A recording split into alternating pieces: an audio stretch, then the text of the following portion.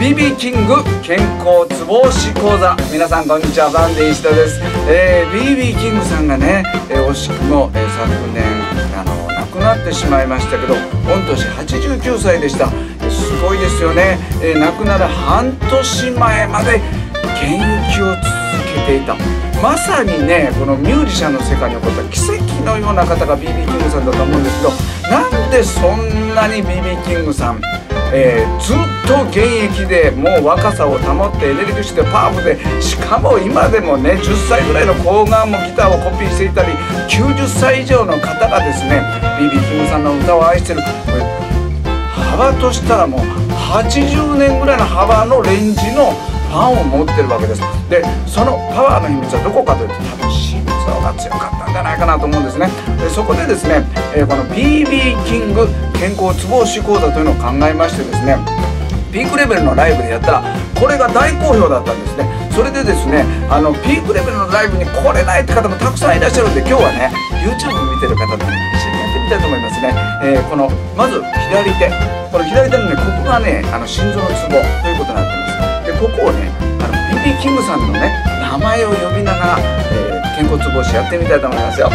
BBBB キングで話しますね。もう一回いきますよ。BBBB キング。これをあと2回 BBBB キング。もう一回いきましょう。BBBB キング。今度右手です。BBBB キング。ここ心臓ツボですよ。BB キン息を吐きながらやってくださいね。ビービービーキングもう一回いきますよビービビキング。ね。あの「ヘイミスタービビキング」というねあの歌をねあのピークレベルで去年リリースしました。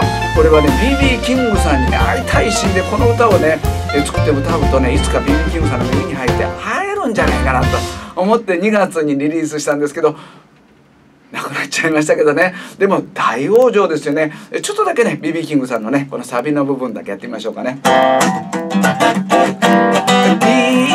BB キング BB キング